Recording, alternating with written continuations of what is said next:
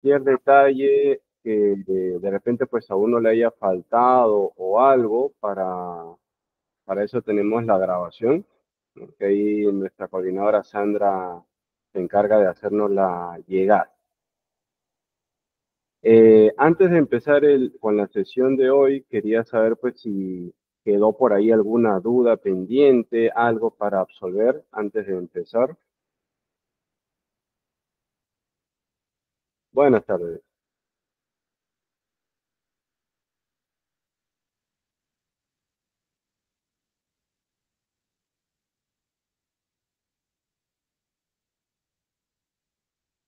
No tenemos ninguna duda, ninguna consulta. Todos estamos eh, iguales hasta donde llegamos a la clase anterior.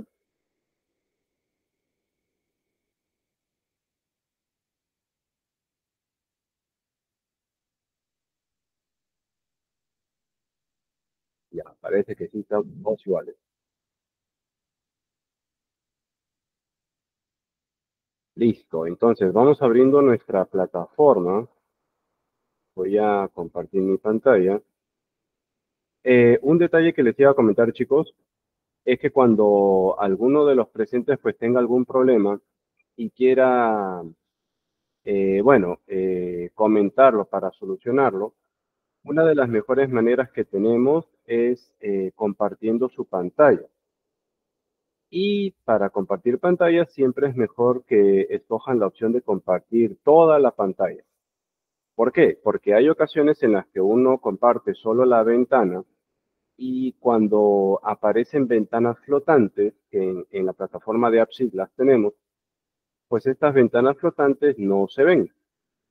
Sea, todos los que vemos la, imagen compartida no la llegamos a ver. Entonces, para que la ayuda pues sea mejor, escoger la opción de escoger pantalla completa o toda la pantalla.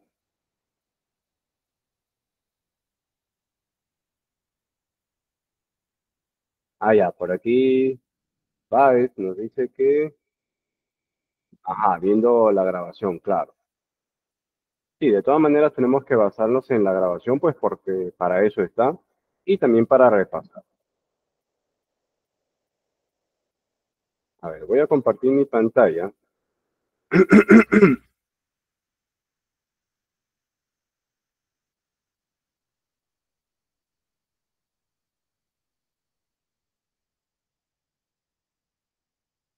Ya, ahí se está viendo.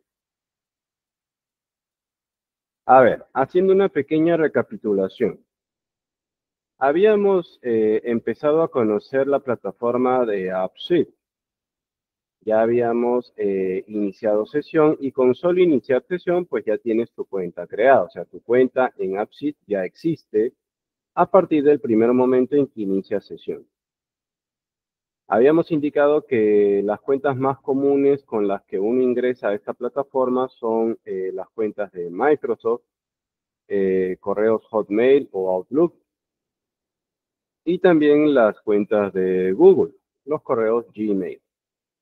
Habíamos indicado que se recomienda el uso de Gmail porque cuando utilizamos Sheets, que es esto, el Excel de Google, la sincronización con la aplicación es más rápida, eh, comparándola con, Excel y Microsoft.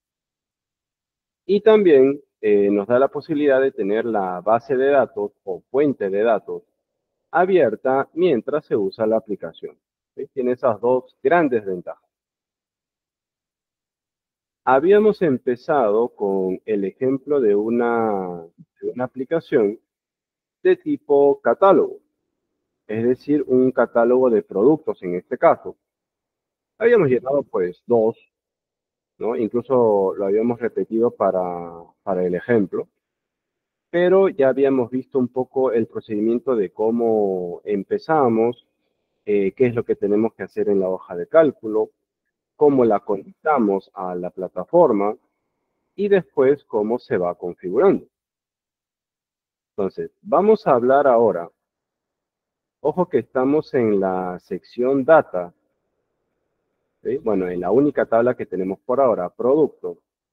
Vamos a describir un poco más eh, este panel de contenido. de la sección Data. Habíamos explicado un poco la, clase anterior, pero vamos a, a detallar.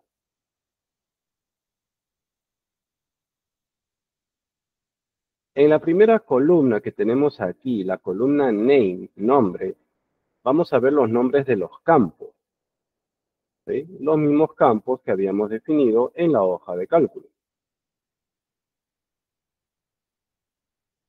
En la columna Type, tipo, como ya vimos, vamos a escoger el tipo de dato que le vamos a asignar a cada una de esas columnas.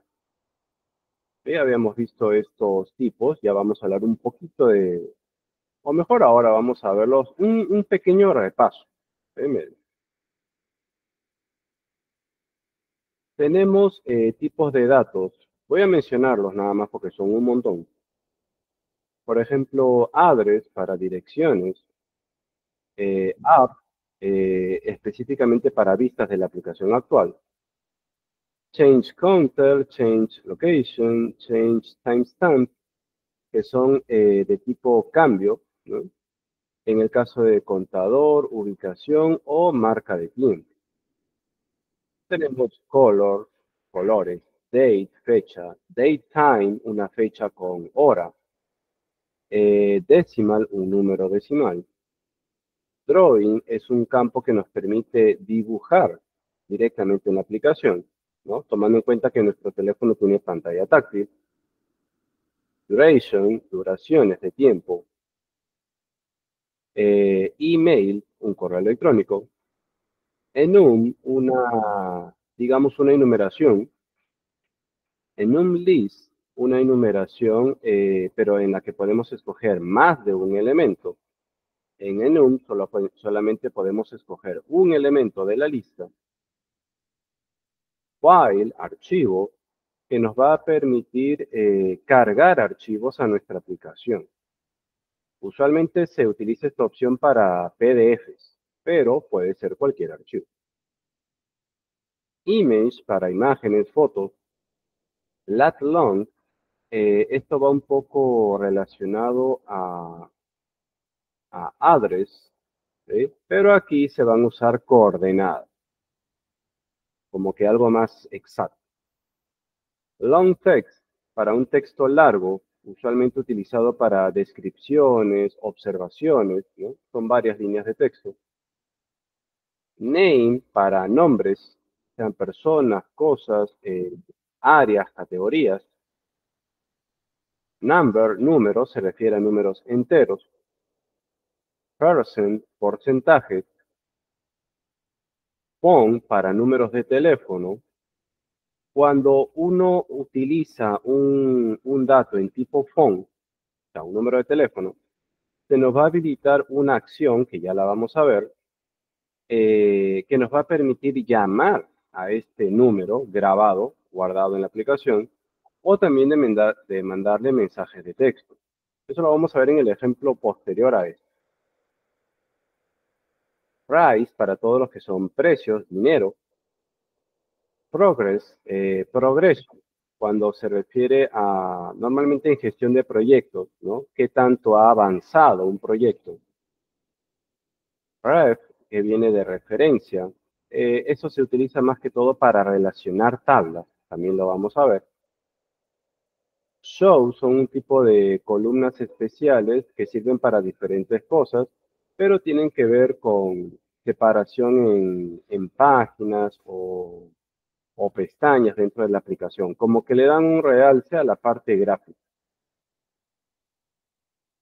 Signature, eh, firma, nos permite capturar una firma.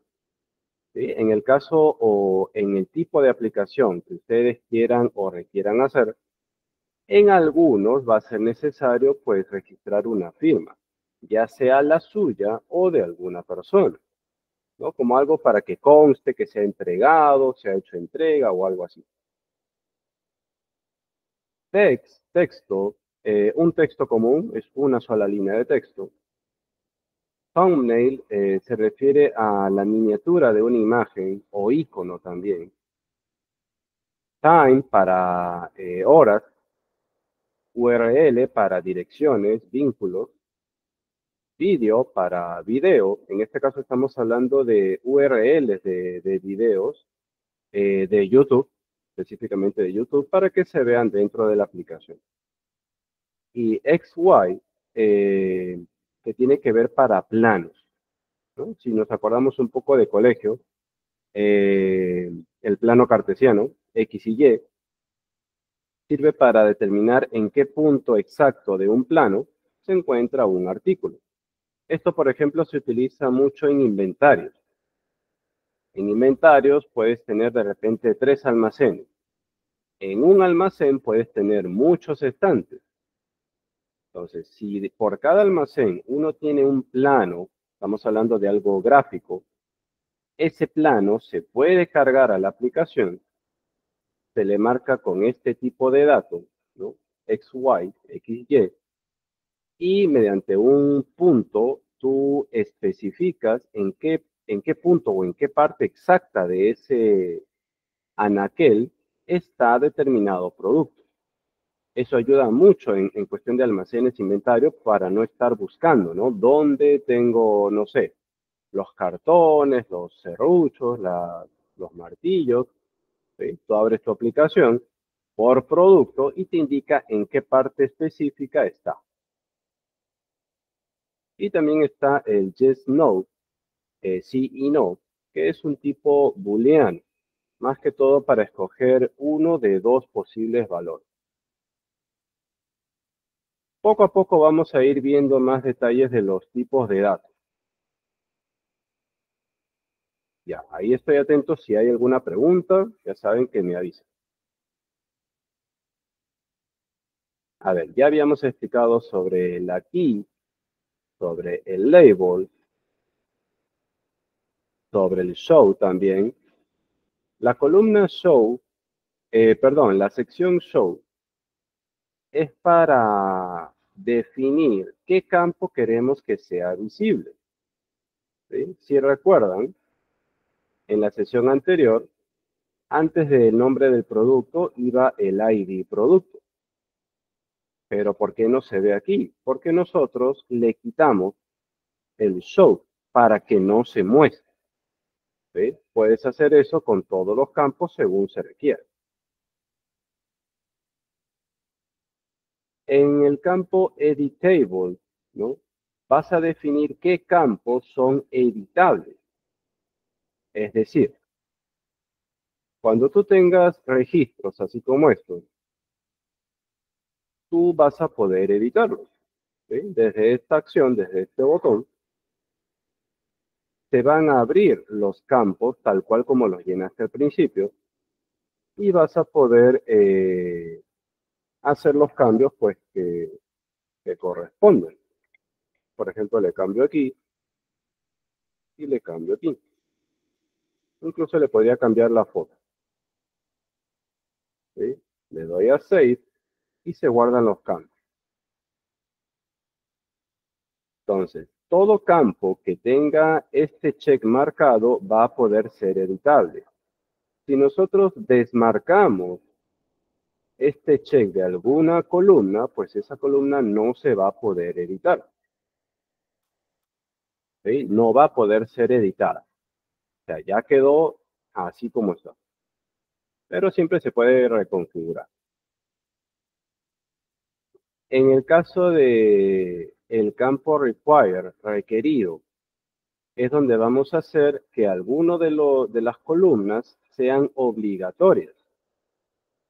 Por ejemplo, en el caso del ID producto, habíamos explicado pues que sí o sí todo registro debe tener un ID.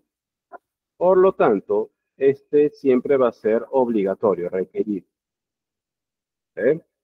Incluso ya viene marcado. Nosotros marcamos este otro, que es eh, lo referente al nombre del producto, que a mi criterio también debe ser obligatorio. Eso también va a depender de cada uno. En cambio, precio y foto, optamos por dejarlos que no sean obligatorios.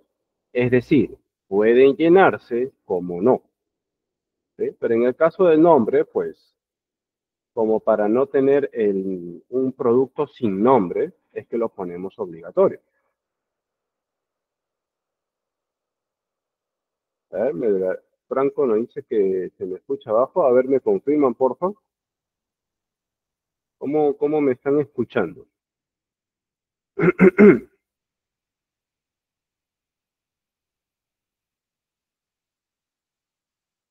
Ajá, por acá Eduardo dice que se escucha bien.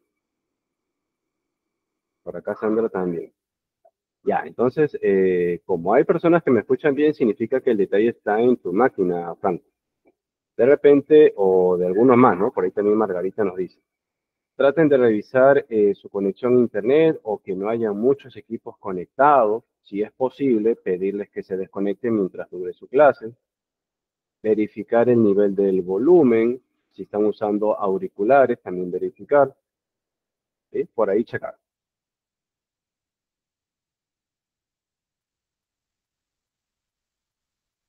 Acá. También habíamos visto un poco sobre el initial value, valor inicial.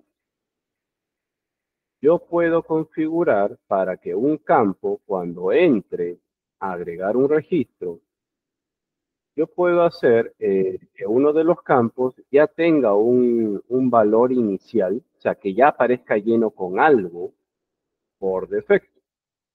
En algunos casos eh, es requerido en otros es muy conveniente, pero tenemos esa opción. En el campo Initial Value podemos utilizarlo con fórmulas, así como en el caso del ID, o simplemente con texto. ¿Eh? Miren, vamos a hacer un ejemplo rápido. Por ejemplo, vamos a determinar un initial value para producto. Acá. Entro aquí con un clic. Ahí. Este es el cuadro de forma. Entonces, yo puedo eh, colocar pues un valor inicial. Como es texto, tienen que colocar comillas. En el caso de AppSheet, cuando ustedes abran comillas, se van a cerrar automáticamente. O sea, solamente abren comillas y se cierran solos. Y voy a poner acá un texto.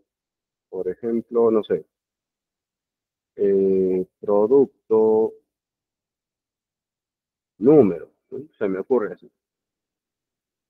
Pero ojo, está entre comillas. Ah, ¿Me dejaron una pregunta? Ah, buenas noches.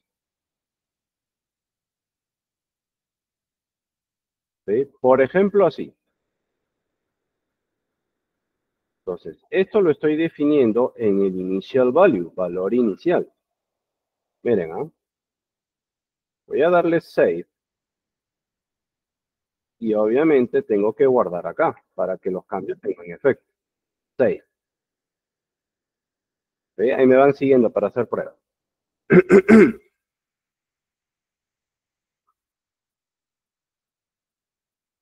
Como habíamos dicho en la sesión anterior, vamos a terminar de darle unos ajustes a esta aplicación.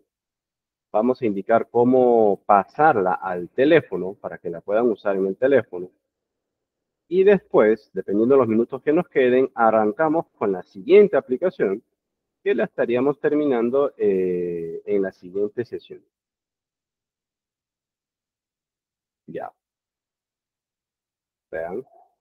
Ya se guardaron los cambios yo entro a agregar un registro, en este caso un producto, y vean. En, eh, en, la columna producto ya me aparece algo escrito por defecto, lo que nosotros pusimos. De repente para yo ponerle acá, no sé, producto número 02. Es un ejemplo. Es editable.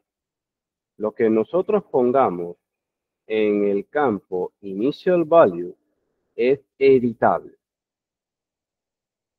Un valor inicial. En muchos tipos de columnas se utilizan, por ejemplo, en los ID para que me genere los ID automáticamente. eh, también se suele utilizar en, en columnas de fecha y hora para que nos dé la fecha actual, la hora actual, entre otros. Voy a cancelar ahí.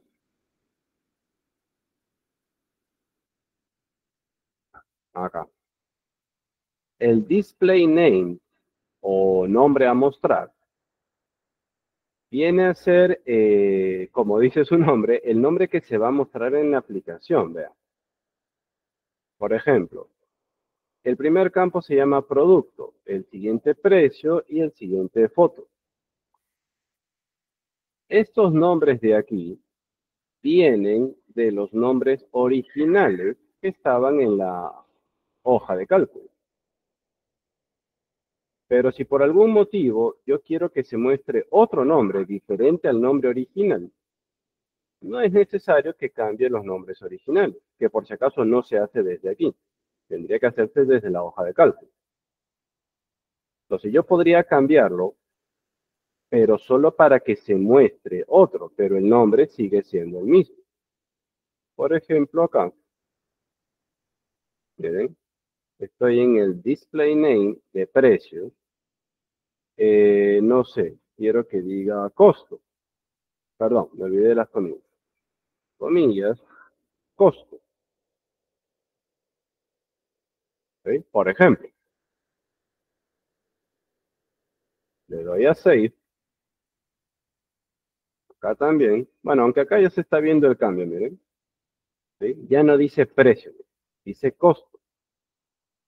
Pero es solo lo que se muestra porque el nombre del campo de la columna sigue siendo el mismo. Esto es útil en, en, la mayoría de casos porque en los nombres de las columnas se suelen usar a veces nombres en clave o codificados. Y obviamente no queremos que esa codificación o abreviatura a veces aparezca en la aplicación. En la aplicación tiene que aparecer bonito. Entonces, en esos casos se utiliza el display name.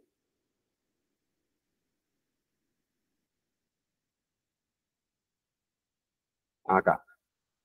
En description, descripción, literal, ¿sí? Podemos llenar una descripción de cada una de las columnas. No es obligatorio, es algo opcional, pero eh, en el caso de que haya una descripción y no haya un display name, se va a mostrar lo que hay en descripción. Tomarlo en cuenta. Y al final vamos a encontrar estas otras cuatro, otros cuatro campos. El campo search, buscar. Toda columna que tenga marcado este check significa que va a ser, eh, que va a poder ser buscado a partir de él. ¿Cómo así? Vean, voy a retroceder. Miren, en toda vista, acá estamos en una vista, vamos a tener eh, la lupa para hacer búsqueda.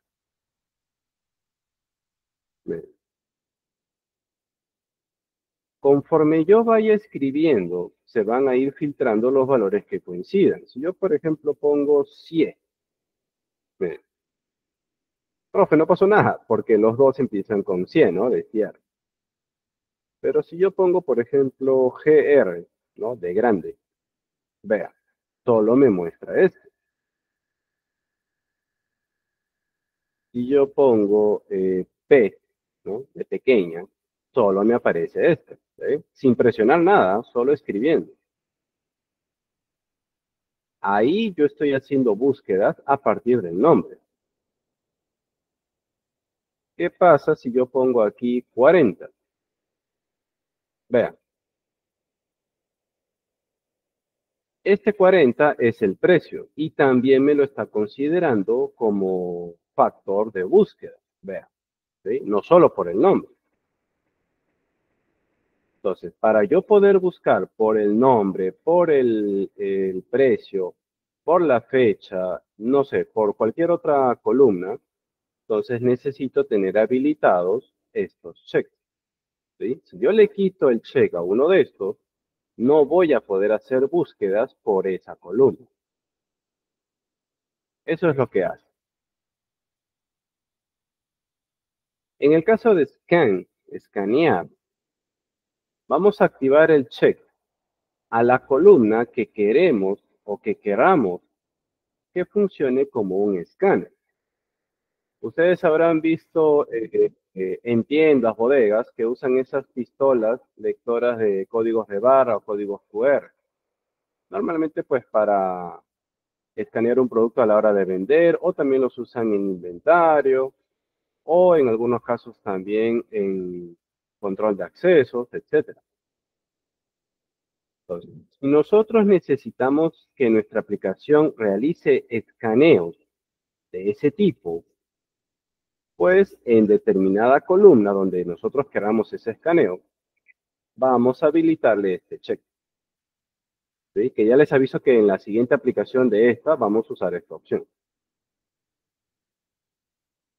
En el caso del NFC es algo parecido. Si nosotros activamos estas casillas de alguna de las columnas, esa columna va a tener la capacidad de escanear una etiqueta NFC.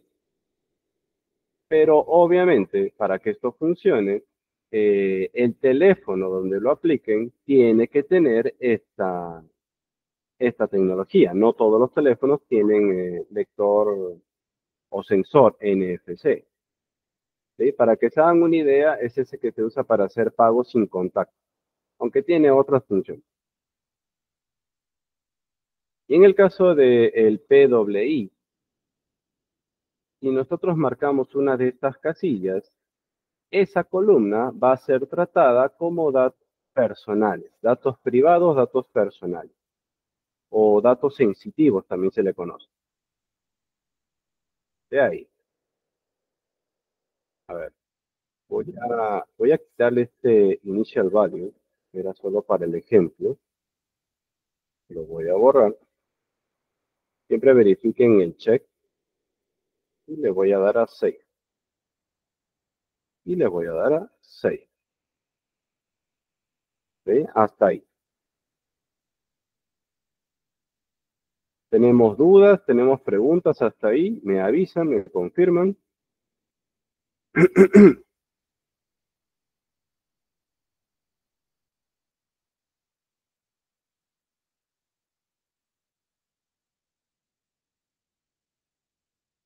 Todo bien. Vamos a pasar a otra sección. Vean.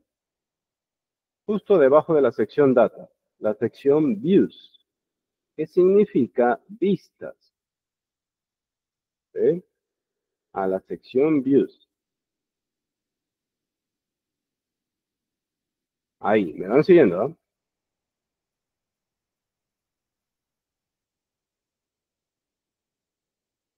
Por cada tabla que tengamos en nuestra aplicación, se van a generar automáticamente eh, dos tipos de vistas.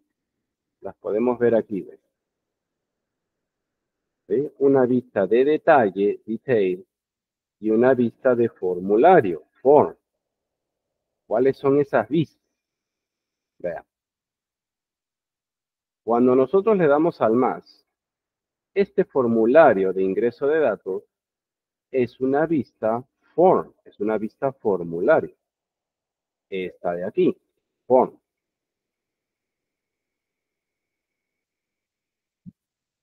Y cuando yo ya tengo un registro hecho y entro al registro dándole un clic, lo que se muestra aquí se conoce como una vista detalle, una vista detail. Es decir, esta de acá. Estas vistas se crean automáticamente. Nosotros no hemos hecho nada. Pero Fuera de esas vistas que se crean por defecto, nosotros podemos crear más vistas. Vean. Aquí nosotros tenemos una vista que se, que se creó automáticamente porque era la única tabla que teníamos. La vista productos, donde se ven todos los productos que vamos agregando, que vamos cargando. Vean. Esa vista está aquí. Las vistas se van a dividir en tres secciones. Primary Navigation, navegación primaria. Estas vistas son las que vamos a ver aquí, que por el momento hay una. Todas las vistas que estén en Primary Navigation van a ser las que se van a ver aquí, que podemos tener varias. Aunque no se recomendamos eh, amontonar muchas vistas ahí. Hay otra que es Menu Navigation, navegación del menú. Esas vistas van a estar alojadas aquí, en el menú. Este es el menú. Estas son opciones que aparecen por defecto, pero aquí nosotros podemos colocar más vistas. Sobre todo para no saturar esta, la navegación primaria. Y también están las reference views, las vistas referenciadas o las vistas de referencia. Que para que nos hagamos una idea, estas vistas no van a ser visibles en la aplicación. En determinados casos, uno quiere eso en muchas ocasiones. Ya vamos a ir viendo. Pero para colocar una vista eh, en el Primary Navigation, en el Menu Navigation o como Reference Views, lo vamos a hacer a partir de aquí. Position, la posición. Acá yo decido si la vista va a estar primera, eh, siguiente, en el medio, después, al último. Todas estas son de la navegación primaria. Si yo quiero que la vista esté en el menú, le doy aquí. Si yo quiero que sea una vista de referencia, le doy aquí. Estas dos son estas dos. Todas las demás, estas cinco, son de la navegación primaria, de la Primary Navigation.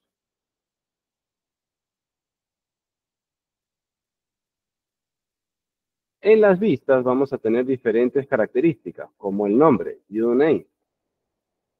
Normalmente va a agarrar el nombre de la tabla, producto, pero se lo puedes cambiar. Por ejemplo, le vamos a poner aquí eh, productos, no sé, eh, productos disponibles, por decir. ¿Me van siguiendo ahí? Acá va el nombre de la vista, view name. Toda vista tiene que eh, partir de datos, de una tabla, ¿no? For this data, o sea, esta vista de qué tabla viene, de productos, que en este ejemplo es la única. Pero toda vista debe partir de una tabla. En View Type es donde vamos a escoger el tipo de vista. Tenemos todas estas de aquí. Tenemos vistas tipo calendario. Acá para que se den una idea. Vistas tipo deck, que es la que teníamos hace un momento. Eh, vistas tipo tabla. Tipo galería. Tipo detail, que también la habíamos visto. Tipo map, que la vamos a ver en el, en el siguiente ejemplo. Eh, por ejemplo, me está eh, eh, pidiendo confirmación para la ubicación. Ojo que AppSheet es una plataforma que pertenece a Google. Y esto que están viendo aquí es el mismo Google Maps. Ya vamos a ver más de esto en el siguiente ejemplo, pero están integrados. Una vista tipo chart, es decir, tipo gráfico. Acá no me muestra nada porque no tengo datos. Eh, vistas tipo dashboard. Los dashboards vienen a ser un conjunto de vistas. Vistas tipo form, que ya también habíamos visto. Vistas onboarding, que son algo así como una vista secuencial para una bienvenida o un tipo de tutorial, explicando cómo se utiliza la aplicación. Y también las vistas tipo card. Dependiendo cada caso, vamos a usar una u otra. Nosotros vamos a usar el tipo deck. que ya lo tenía. Por defecto me aparece así. Vea. Una vez que tú escoges el tipo de vista, eh, vas a escoger si la quieres en la Primary Navigation o en el menú o como vista de referencia. Luego de eso vas a ver más opciones. Acá. Aquí. View Options, opciones de vista. Vea. Sort by. Ordenar, ¿no? Esto es para ordenar. ¿Por qué columna se va a ordenar? Pues yo quiero que estén ordenadas. Miren, acá como están iguales, le vamos a cambiar.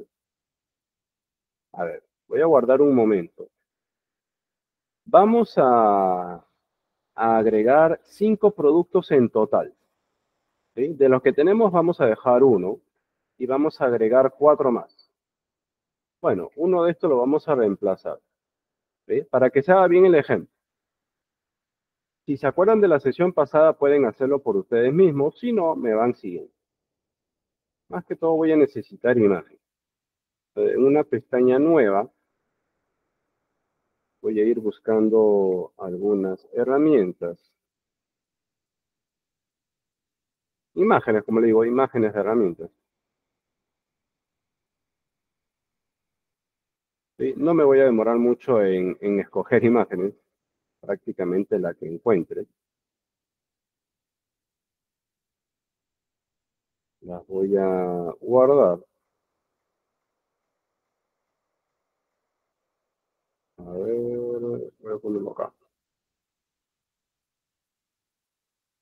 Ya, ahí tengo una.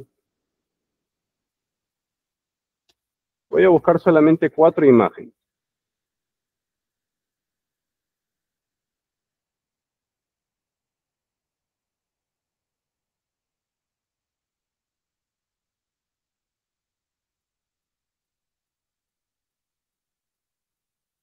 Otra. Eh, eh, eh.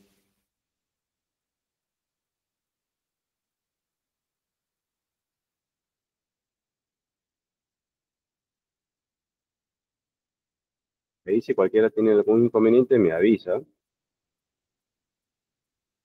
Pero más que todo ahorita estamos eh, guardando imagen. Nada complicado.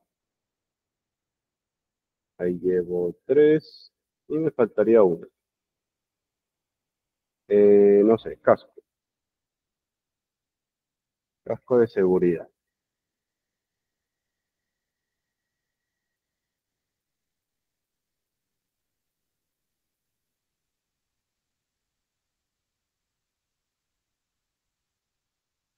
Ya está, ya tengo todas las imágenes.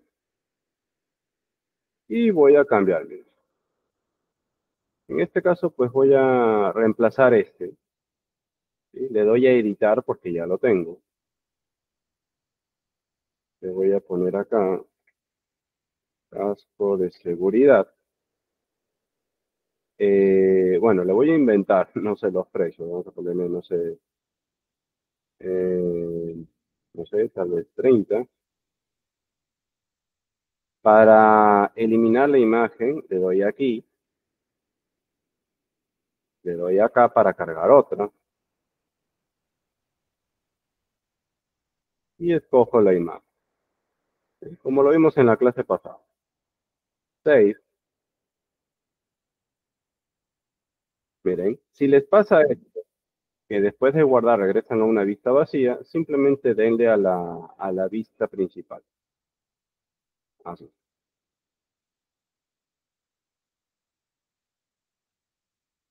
ahí tengo dos. Voy a agregar otro. Teníamos eh, clavos de acero, le voy a poner. Eh, no sé, dos soles. Escojo la imagen. Guardar. 6. Me faltan dos. También teníamos eh, martillo acerado. Voy a ponerle 38. Estoy inventando los precios.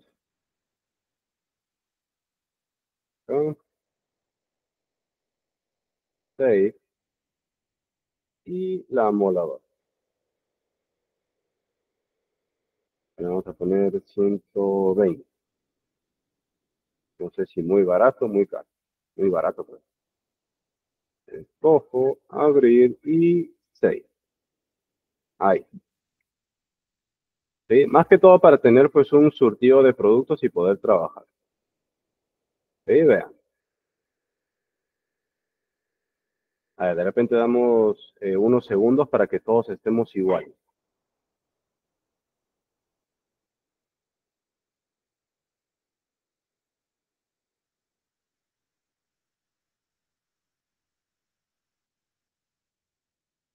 Simplemente con cinco productos basta. Si son rápidos, pues pueden hacer un poco más. Pero con cinco productos, más que suficiente.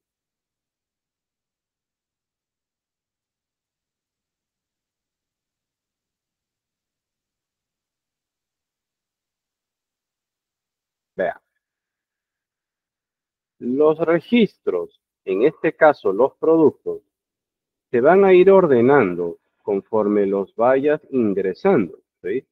Primero que ingresaste, segundo, tercero, cuarto, así se van a ir ordenando por defecto. Entonces, en un caso real, pues que tú quieras entrar a ver tus productos, eh, no va a ser muy conveniente que estén ordenados conforme los fuiste registrando. Miren,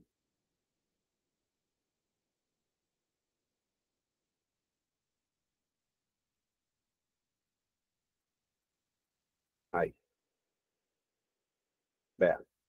Aquí, en Sort By, vamos a escoger el criterio para que se ordenen estos registros. Lo más común, dependiendo del caso, es que ordenes. Tú aquí vas a escoger una columna. O sea, ¿por qué columna quieres que se ordene? En este tipo de casos, lo más común es por producto o sea, por el nombre. Y puedes escoger si ese orden va a ser ascendente o descendente. Ahorita está en ascendente, es decir, de la A a la Z. O puedes escoger descendente. Depende del caso, depende de tu criterio. Yo lo voy a dejar ascendente.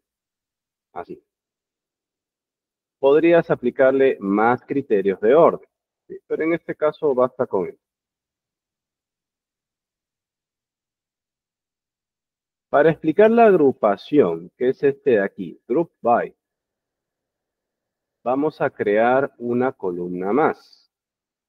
Pero antes de eso vamos a guardar. Vamos a dar a Save. Aquí.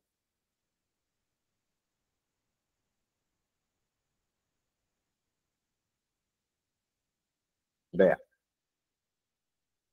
Aparte de ordenar, de colocar un criterio de ordenamiento, nosotros también podemos agrupar los registros dependiendo cada caso, pero en productos, por ejemplo, se utilizan las categorías. Vea. Yo quiero ordenar, perdón, agrupar estos productos por categoría. Pero si nos regresamos a data, pues no hay categoría. ¿Qué significa? ¿Que ya no puedo hacerlo? No. Lo que tengo que hacer es agregar otra columna. Y para eso también es recomendable el uso de Sheets, porque se hace muy rápido. Si yo entro a la, a la hoja de cálculo, acá la tengo abierta, si alguien eh, tiene su hoja de cálculo cerrada y no sabe cómo abrirla, me avisa para indicar. Pero cuando ustedes quieran agregar columnas, se hace directamente desde la, desde la hoja de cálculo. Por ejemplo, yo quiero una columna eh, después de producto. le doy aquí acá, le doy insertar columna, una columna a la derecha. Y le voy a poner categoría. Así. Nada más. Aquí en, la hoja de cálculo, chicos, ustedes podrían darle más formatos si quisieran. No es necesario, pero podría. Pero basta con que esté el contenido escrito. Como se trata de sheets, esto se autoguarda, como explicamos en la clase anterior. Por lo tanto, ese cambio ya se guardó. Yo regreso a AppSheet. Profe, pero esa columna todavía no está. No, porque tenemos que eh, reestructurar. Mire. Hay una columna nueva. Y para que se vea reflejada aquí, tienes que irte a este botón. Que lo que va a hacer es reestructurar la tabla para reconocer esa columna nueva.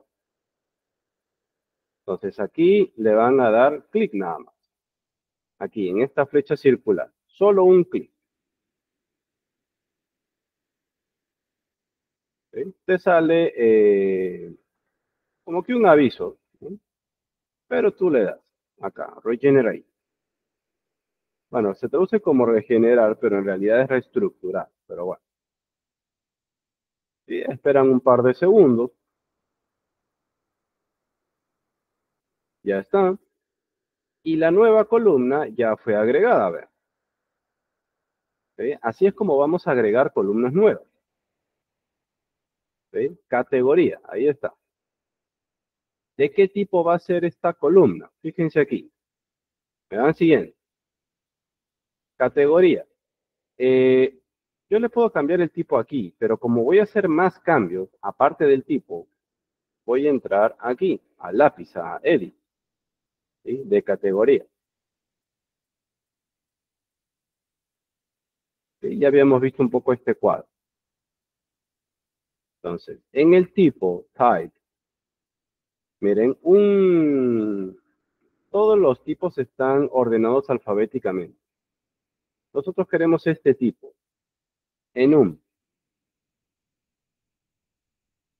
Viene de una enumeración. Enum. Para los que hayan usado Excel, las listas de datos o listas desplegables, eso es lo que vamos a tener acá. Aunque depende, se puede mostrar de otra manera. Escogemos enum y en values, valores, vamos a darle add, agregar. Es decir, esto es una lista de valores o una enumeración. Necesita elementos esos elementos los vamos a añadir o agregar con este botón. yo le doy acá, Add. O sea, ¿qué voy a agregar aquí? Voy a agregar las categorías. A ver, por ejemplo, una categoría, voy a ponerle EPP, ¿no? Equipo de protección personal. Voy a agregar otra categoría que sea eh, voy a ponerle insumos. Otra categoría que sea, eh, que le ponemos eh, eléctricas. Y otra categoría que sea manuales. Order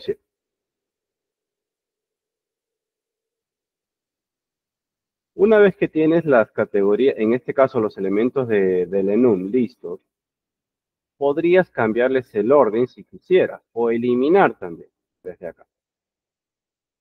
Pero desde aquí podrías cambiarles el orden. Por ejemplo, insumos yo quiero que vaya al final.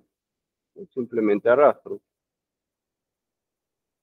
Y este quiero que vaya segundo. Le cambias el orden. Para este ejemplo vamos a usar cuatro categorías. Acá. Allow other values. ¿Qué significa? Permitir otros valores. Vamos a darle que sí. ¿Qué significa eso? Ya lo vamos a ver ahorita que vayamos al emulador.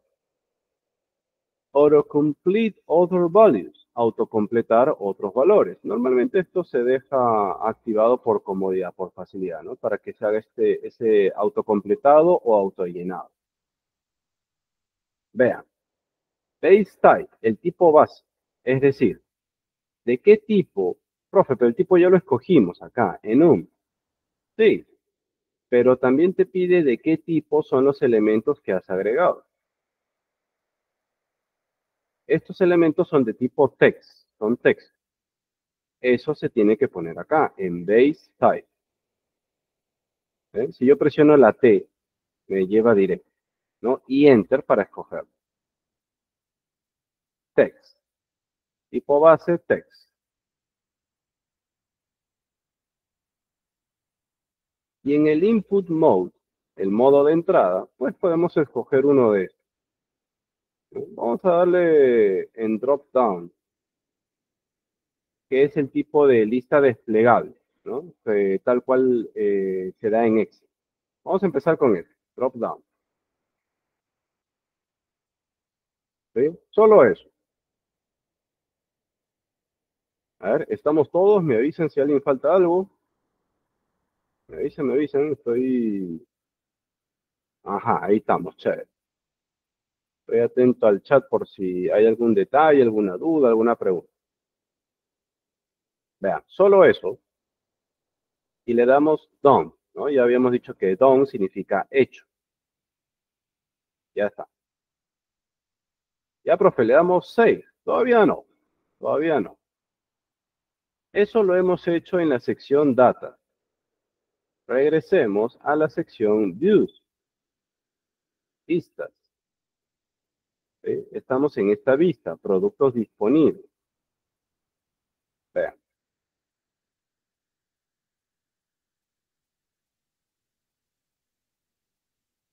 Esta de acá es la vista principal. Pero necesitamos agregar la categoría en el formulario. Vean.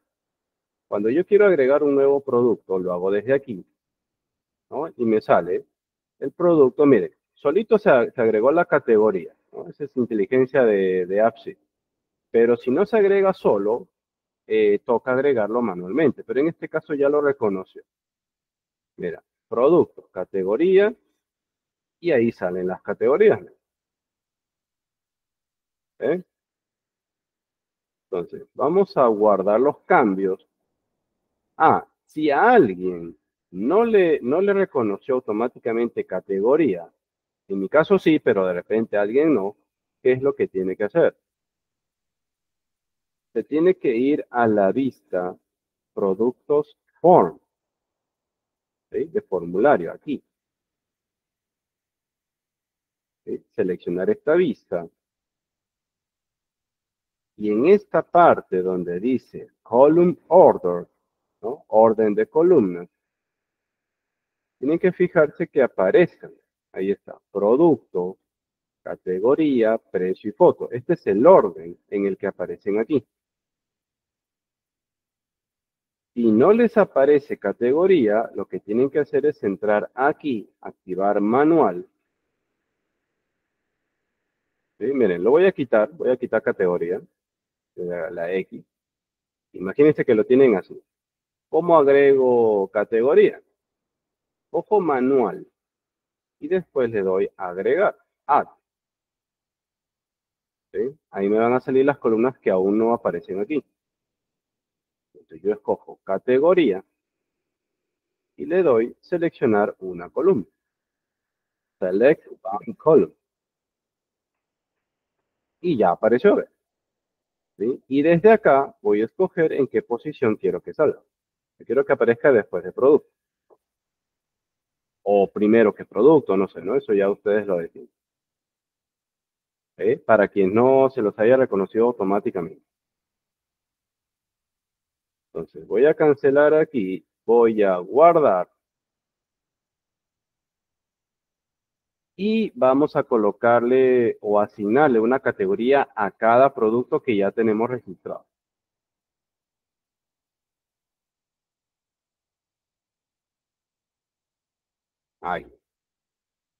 ¿Cómo hago eso? Porque estos productos ya están registrados. Pues lo tengo que hacer desde editar, ¿no? Edit. Eh, profe, ¿no se pueden cambiar todos esos botones eh, a español? Claro que se puede. vamos a ver más adelante. Entonces le doy editar. Vean.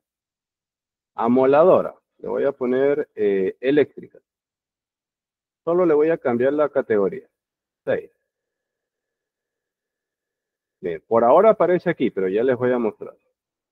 Eh, casco es tipo EPP. 6. Clavos, voy a ponerle tipo insumos.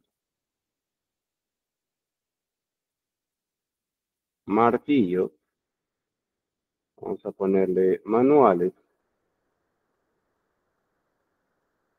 Y sierra pequeña igual. Vean, a veces va a pasar esto también, de que algunos botones se van a topar con el, botón prominente. Es cuestión de un poco de tacto. Acá también sería manual. Ya está. Y vean. Todos los productos ya tienen una categoría. ¿Para qué quería hacer eso? Voy a regresar a la vista principal. Esta de acá.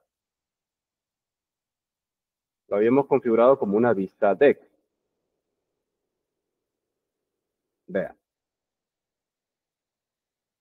Main image, ¿no? Imagen principal.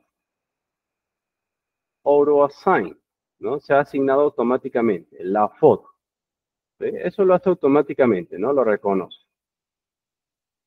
Aquí también, el primary header lo ha autoasignado con producto, el secondary header lo ha autoasignado con categoría, por eso aparece ahí debajo. Y el summary column también lo ha autoasignado como ninguno, no. Pero en nuestro caso no queremos el secondary header. Vamos a ponerle none, ninguno. Que no aparezca ahí. ¿Por qué? Porque queríamos usar la opción de agrupar. Group by. Miren, los productos ya están ordenados alfabéticamente. Pero como tienen una categoría, se suele agruparlos por esa categoría. Miren, group by. ¿Por qué columna quiero agruparlos? Quiero agruparlos por la categoría. Y la categoría también puede figurar de manera ascendente o descendente, o sea, el orden. Si es texto, de la A a la Z o de la Z a la A. Eso tú lo escoges, según criterio. Cuando tú agrupas, tienes este resultado, observa. Que ahorita no se puede ver gran diferencia porque son pocos productos.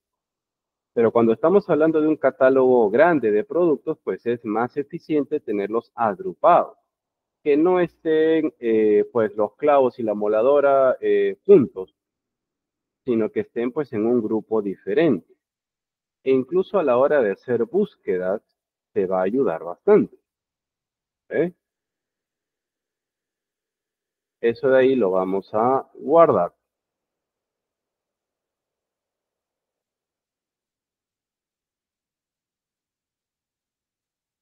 estamos haciendo cambios eh, básicos, porque todavía estamos en la parte de acostumbrarnos a la, a la plataforma, a la herramienta.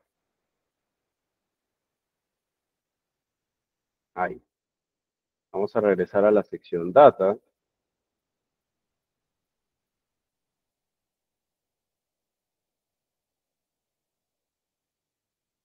Ahí. Listo, vean. Hay muchas más, cambios y configuraciones que podemos hacer.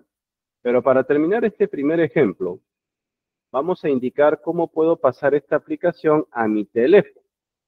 Ojo, teléfono o tablet. ¿eh? Vea. Voy a mostrarlo por acá. A ver, los que puedan hacerlo en este momento, bestial. En su teléfono van a ingresar a la Play Store. Ojo que también se puede desde, desde, bueno, se puede para teléfonos Android o teléfonos iOS, en cualquiera de los dos.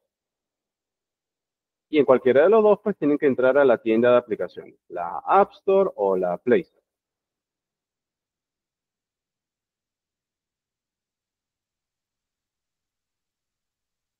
Eh, Carlos, a ver, nos indicas, ¿en dónde te quedaste para estar todos iguales? ¿En qué parte te quedaste? Lo demás vayan abriendo la tienda.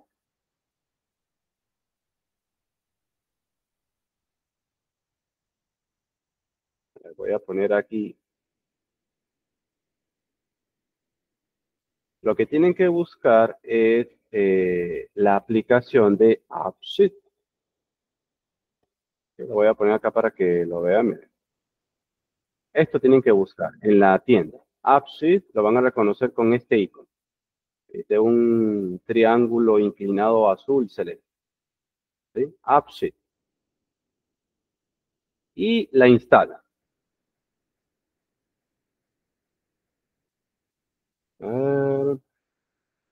Ah, en todo. Bueno, en eso podemos solucionarlo con, eh, con la grabación. ¿sí? No hay problema. Si hubiera sido uno que otro detalle, lo, hacíamos ahorita. Pero si es todo, no podríamos, ¿no? Por cuestión de tiempo. Pero con la grabación se soluciona. Así que no hay pierde.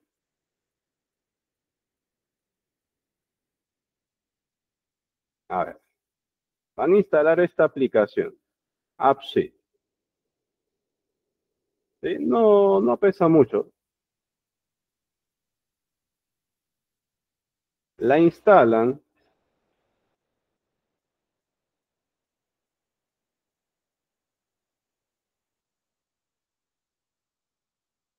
Una vez que la hayan instalado, eh, la abre. Directamente la abre. Y cuando la abran, les va a pedir que inicien sesión.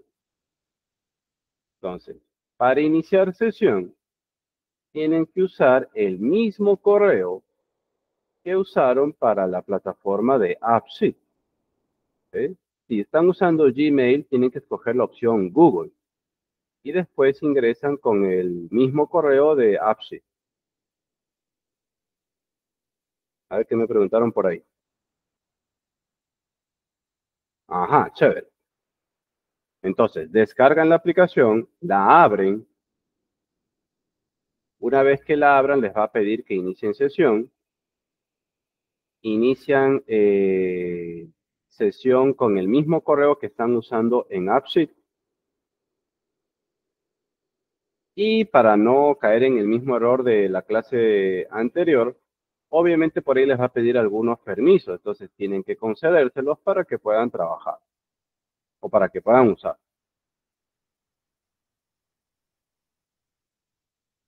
Inician sesión en, en la misma aplicación de AppSheet. Ahorita les indico acá.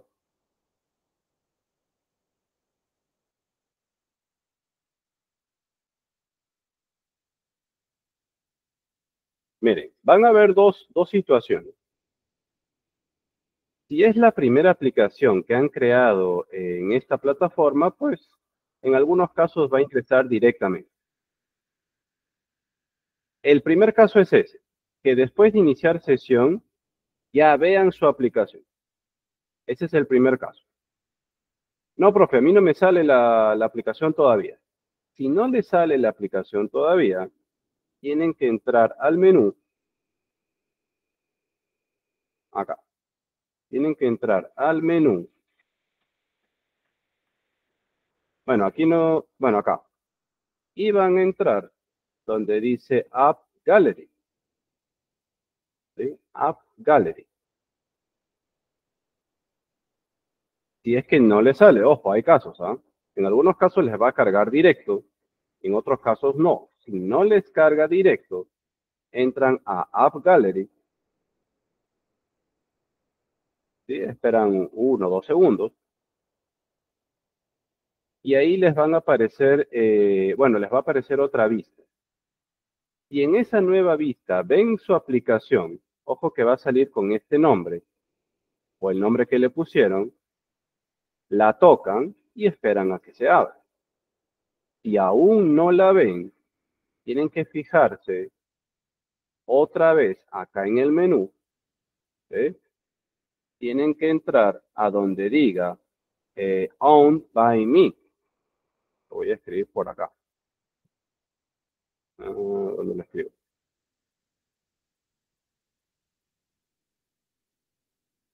A ver, lo voy a poner en el chat.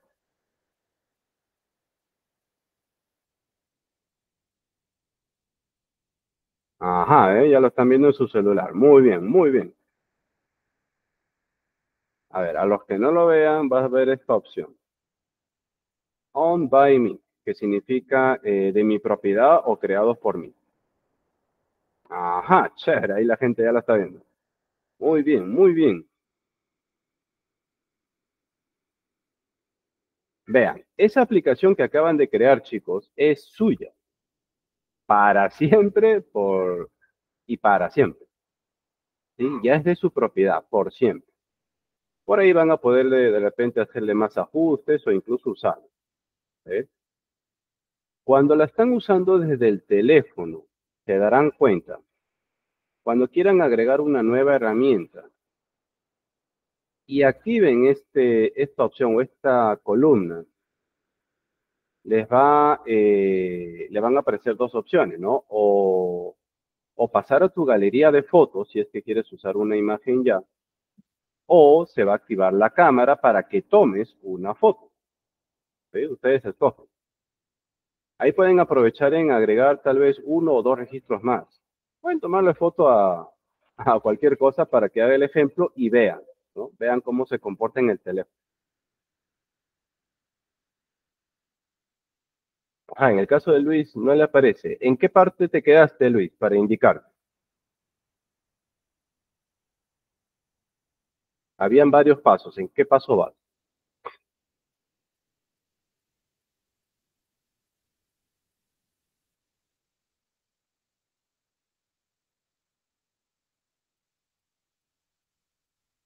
Eh, no, si hiciste todo, sí aparece. ¿ah? A ver, vamos por partes. ¿Ya instalaste AppSheet? Ya. ¿Iniciaste sesión con el mismo correo de la plataforma? Verifica. Verifica. Tiene que ser el mismo correo que usaste en tu computadora. Si no es el mismo correo, va a estar vacío. Tiene que ser el mismo correo. Porque básicamente en la aplicación de teléfono vamos a ver todas las aplicaciones que hayamos creado en nuestra cuenta.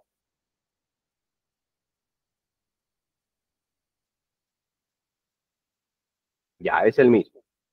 Si es el mismo y no la ves, entonces entra al menú. ¿Cuál es el menú? El menú es este. Este es el menú. Entra acá. Y eh, mira, dependiendo dónde estés, dependiendo qué te esté mostrando, puedes entrar a App Gallery, si es que la ves, y si no la ves, entras a la opción que dice On by Me, esta, que, esta opción que escribí en el chat. Que la voy a volver a, a ponerme. Así se llama la opción owned by me, ¿no? De mi propiedad o creadas por mí. ¿Sí? Una vez entres a esa opción, owned by me, ahí sí vas a ver la aplicación, siempre y cuando sea el mismo correo. Ojo. La vas a ver con el nombre que le pusiste y lo único que tienes que hacer es tocarla para que se abra. Ajá, ya salió. Chévere. A ver, ¿qué preguntas por ahí? Ajá, mira, una pregunta interesante nos hace Eduardo. ¿A cuántas personas se les puede compartir la app? Buena pregunta. A ver, vamos a explicar esa parte. Bueno, primero vamos a explicar cómo se comparte la aplicación. Vean, en la plataforma, en la parte superior, vamos a ver este icono de una persona con un Esa opción se llama Share, compartir. Tú le das clic ahí y te va a aparecer este cuadro. Vean, Acá te va a ir contando. Cero usuarios invitados, cero respondidos. O sea, no se las has compartido a nadie. Acá solamente vas a figurar tú como eh, dueño de la aplicación. Cuando tú quieras compartir esta aplicación a alguien, vas a poner el correo de esa otra persona aquí. Por decir, no sé, eh, correo arroba gmail.com. ¿Eh? Verifica que esté bien escrito el correo. Para que lo reconozca, después de escribir el correo, puedes presionar la tecla Tab en tu teclado, el tabulador. La tecla que está arriba del bloque mayúscula o a la izquierda de la Q. Así. Para que te reconozca el correo. Acá tienes que darle, pues, no soy un robot, el, el gacha. Y acá, chicos, importante, importante, acá tú vas a definir qué nivel de acceso va a tener la persona a tu aplicación. Si solo quieres que la use y no haga ningún cambio en la estructura, entonces la dejas así. Use up, o sea, solo para que la use. Porque hay otros niveles.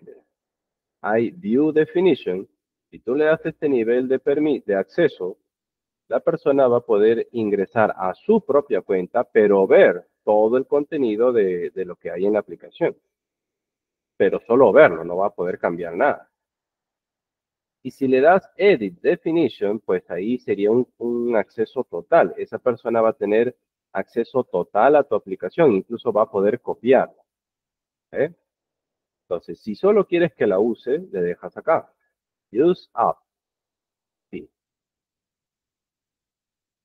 En este caso me pedía que, que escoja otra vez. Notify users. Notificar a los usuarios. Si tú dejas marcado este check, se le va a mandar un correo con este mensaje, que lo puedes dejar o puedes escribir el tuyo propio. Ahí, ahí mismo escribes. Hola, te saluda Pedro, te estoy compartiendo una aplicación para que la uses. Mira, estoy aprendiendo a hacer aplicaciones en esta plataforma AppSheet y quería que la pruebes, o no sé, ¿no? O algo muy corto, ¿no?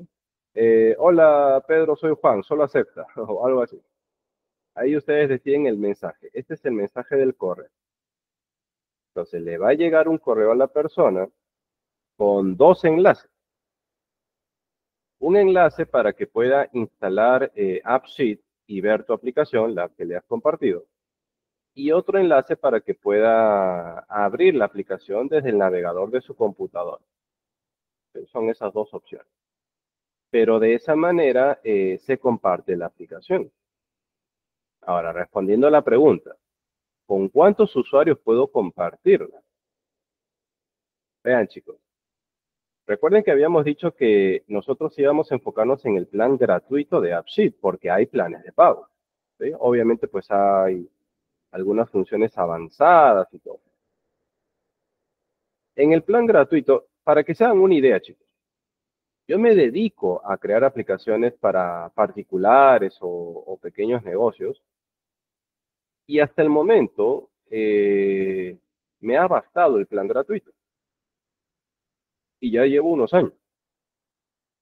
Para que se hagan una idea, se puede hacer mucho con el plan gratuito, pero hay determinados eh, detalles o características que sí o sí requieren un plan de pago. Ya depende. Pero en el plan gratuito tú solamente vas a poder compartir tu aplicación con nueve usuarios. ¿Por qué nueve? Porque tú ya cuentas como uno. O sea, son diez en total.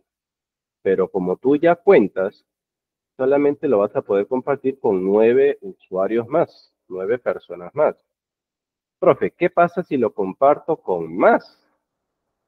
Pues lo que sucede, o lo que sucederá, es que en el transcurso del próximo mes, se va a contabilizar la cantidad de personas que accedieron a la aplicación.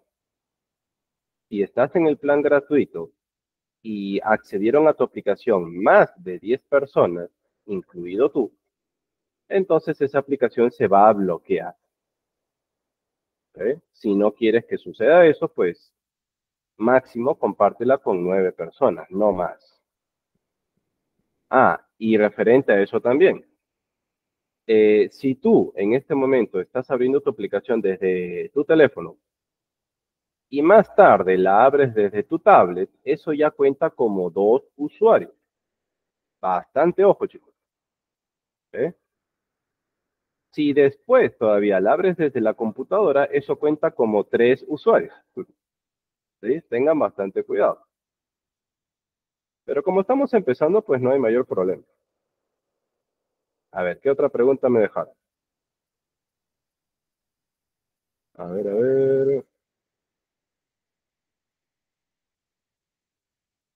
Mm. A ver, Margarita hizo registro con toma de teléfono. Ah, ¿eh? Eso es proactividad. Muy bien, te felicito. Ajá.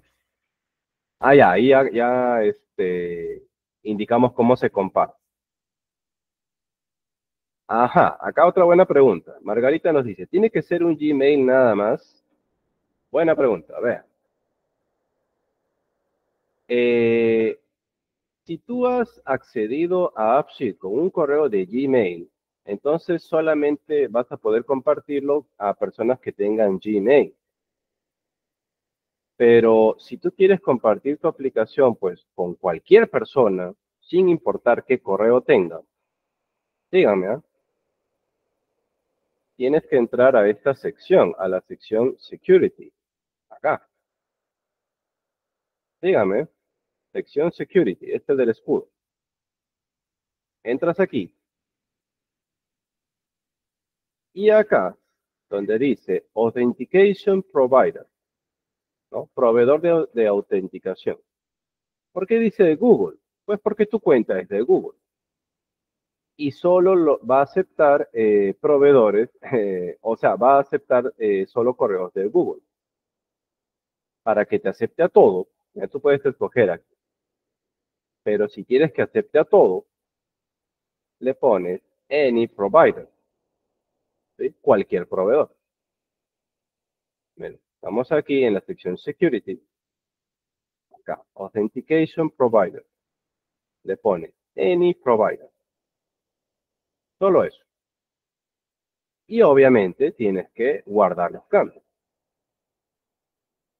De esa manera se la puedes compartir a cualquier persona que tenga cualquier correo.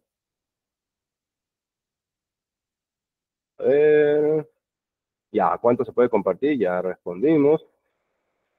Dijo que por gratuito a nueve nada más. Sí, como máximo se lo pueden compartir a nueve personas porque con ustedes ya son 10, son 10 en total. ¿eh?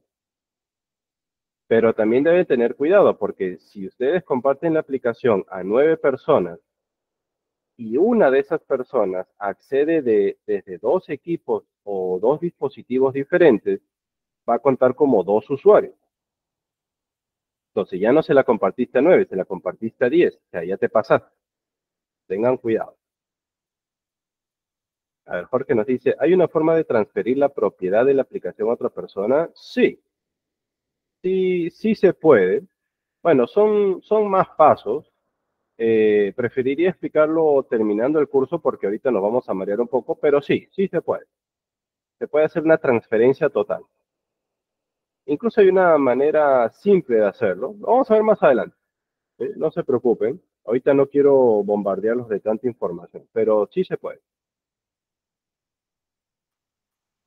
Uh, ah, Margarita dice que ahorita estamos usando dos usuarios. No, estamos usando eh, solo un usuario, porque la plataforma donde se crea la aplicación no cuenta. Porque esto no es la aplicación, esto de acá es un, emulador nada más. No cuenta como la aplicación. Para usarla desde computadora, cuenta si es que ustedes le dan clic acá, donde dice desktop. Ahí se va a abrir la aplicación en modo desktop y ahí sí la estarían usando en la computadora. Ahí sí contaría como dos usuarios. Ahí recién. Pero acá en el, en el editor, no. Ver, Eduardo nos dice, si se tiene cuenta Microsoft 365 empresa, ¿habría que hacer todo el proceso de creación de la app? Eh, sí, porque en el caso de Microsoft 365, pues no cambia casi nada. Ahí estoy suponiendo de que utilizarías Excel y la nube de OneDrive, ¿no? Que tiene algunas desventajas frente a Sheets, como habíamos indicado, pero fuera de eso no tiene diferencia. ¿no? Tomen en cuenta que estamos hablando de una plataforma que pertenece a Google y la mayoría de beneficios están en el, en la, en el Google Cloud, ¿no? en el workspace de Google, no de Microsoft. Ah, Luis dice repetir cómo se comparte. Ya, vamos a repetir. Para compartir la aplicación, nos vamos a ir a la parte de arriba y vamos a entrar a este botón, este que tiene la persona con un más. Ustedes le dan clic ahí y les va a aparecer este cuadro. Lo único que tienen que hacer aquí es escribir el o los correos de las personas a, las que les van a compartir la, aplicación Bien, después de escribir esto, presionan la tecla Tab, tabulador, para que lo reconozca. Acá marcan el, el captcha. Lo dejan como Use App, ¿no? Usar la app. Le dejan marcado que lo notifique por correo y acá pueden escribir el correo. Y simplemente le dan Send, ¿no? Enviar. La persona va a recibir un correo con dos enlaces, uno para abrirlo desde el navegador y otra para instalar la aplicación en su teléfono. Simplemente lo instala y ya la va a tener.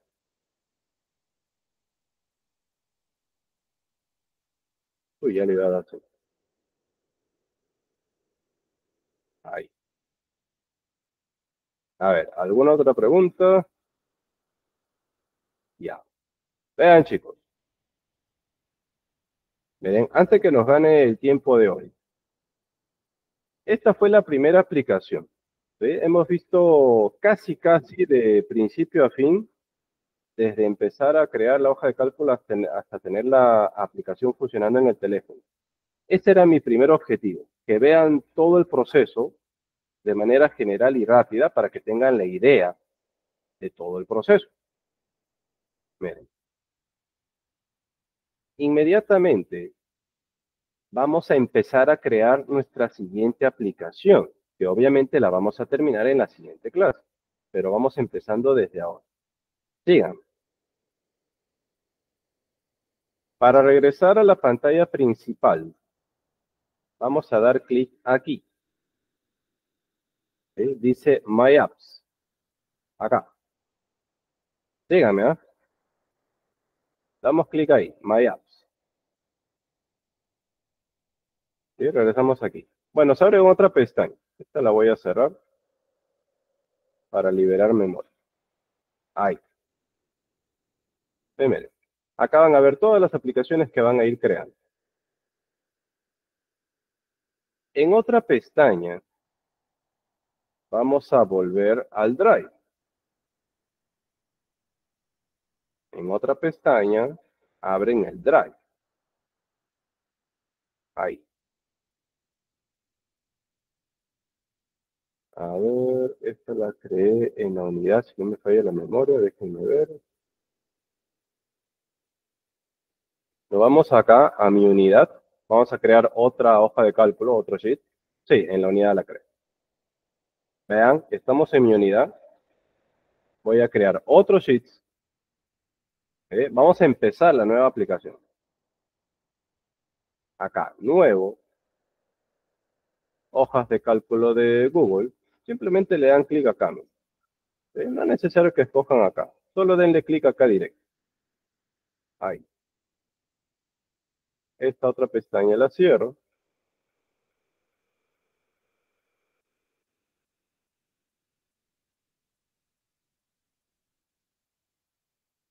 Ah, Margarita nos dice si se puede quitar algún usuario compartido. Sí, sí se puede. Vamos a terminar primero esto y, explicamos ahora. Vea. A ver, si tenemos tiempo para terminar, ¿ah? A ver. La siguiente aplicación que vamos a hacer va a ser de control de acceso, en la que vamos a usar dos hojas, o sea, en AppSheet dos tablas. Díganme aquí. Acabamos de abrir el nuevo sheet. Vamos a escribir acá la primera columna. Vamos a ponerle aquí, eh, a ver, a ver, a ver. Vamos a ponerle ID, eh, a ver, déjenme ver. Registro y base de datos. Ya miren, en este caso le voy a poner solo ID nada más. Solo ID en la primera. Acá le voy a poner eh, apellido. Acá le voy a poner nombre. ¿Me van siguiendo? ID, apellido, nombre. Acá le puedo poner eh, empresa. Sí, para empezar así, para no complicarnos mucho. ID, apellido, nombre y empresa. Por ahí de repente lo aumentamos más campos, pero ya en la siguiente sesión. ID, apellido, nombre y empresa. ¿Sí? Sígame. ID, perdón. ID, apellido, nombre y empresa. Voy a agregar otra hoja. Y acá vamos a colocar eh, ID registro. ID registro. Ojo, esta es otra hoja. Acá vamos a poner, eh, a ver, vamos a poner fecha. Vamos a poner hora. Eh, a ver, a ver. Vamos a poner acá DNI. Apellido. Nombre empresa. A ver, ahorita lo chico. Apellido, nombre, empresa. Eh, acá voy a ponerle acceso. A ver. En la segunda hoja estoy poniendo ID registro, fecha, hora, DNI, apellido, nombre, empresa y acceso. Son dos hojas, ¿no? ID, registro, fecha, hora, DNI, apellido, nombre, empresa y acceso. Vamos a cambiarle los nombres a las hojas. Acuérdense, cada una de estas hojas va a ser una tabla en AppSheet. Entonces, los nombres que pongamos aquí son los nombres de las tablas que van a aparecer en la plataforma. Entonces, la primera hoja, vamos a ponerle eh, base de datos, pero yo voy a ponerle así, base de datos, como un nombre clave. Se refiere a base de datos. Perdón, voy a ponerle sin mayúsculas. Ahí, base de datos. Y a la segunda hoja le voy a poner de nombre registro. Base de datos acá. Base de datos, así abreviado. Y la otra se llama registro.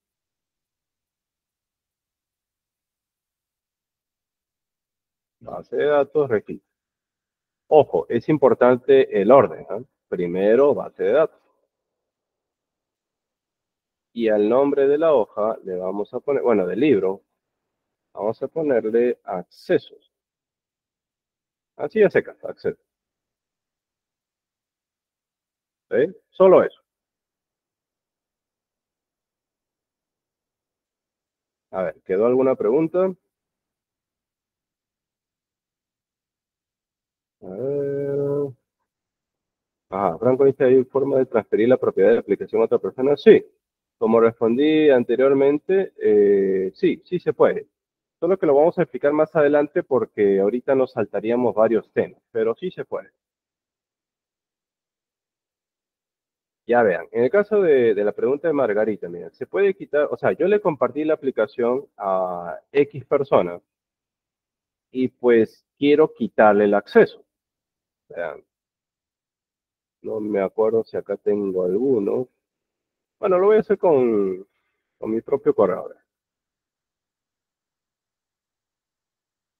Por X motivo, pues quieres quitarle el acceso a una persona a la que ya le diste acceso. Lo bueno de una aplicación web, chicos, es que ustedes jamás pierden el, el control de la misma, a no ser que la transfieran por completo. Pero fuera de eso, jamás pierden el control. Vean. Ahí se cargue. Ahí. Bien, voy a poner otro de mis correos. ¿O no? ¿O sí? Ahí. Ahí, por decir. Se la voy a compartir a esta persona. Marco el captcha. Ahí, todo ok, ¿no? Solo para que use la app. Entonces yo le doy send, enviar. Ya está. Así va a figurar, miren. Por, ahora está invitado, ¿no? Todavía no ha contestado el correo. Entonces, si yo quiero quitarle el acceso, lo único que tengo que hacer es venir para acá y darle remove, remover, quitar. ¿Sí? Solo con eso. Desapareció. Ya no tiene acceso a la aplicación. Y done. Así de simple.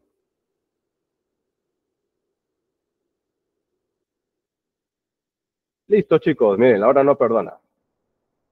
Ojo, ya tenemos la, estructura de nuestra próxima aplicación. Tengan la lista para el sábado, nos toca. Tengan la lista para el sábado ya tenemos la estructura y vamos a ir directamente a crearla. No se olviden de esa parte. Y si les faltó algún detalle, pues la pueden retomar con la grabación. Así que no tenemos pierde por ningún lado. Listo, chicos. Eso sería todo de mi parte. Entonces, por ahí está nuestra amiga Sandra, creo.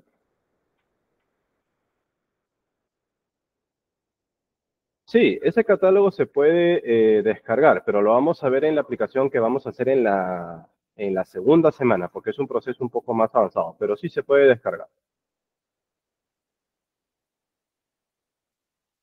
Listo, eso sería todo de mi parte por esta sesión y nos estamos reencontrando el día sábado, chicos, para continuar con esta siguiente. Listo, a ti. Cuídense mucho, chicos. Nos estamos reencontrando el día sábado. No se olviden de practicar, por ahí repasar algún detalle de la clase. A ustedes, a ustedes, muchas gracias. Nos vemos el día sábado. Cuídense. Chau, chau.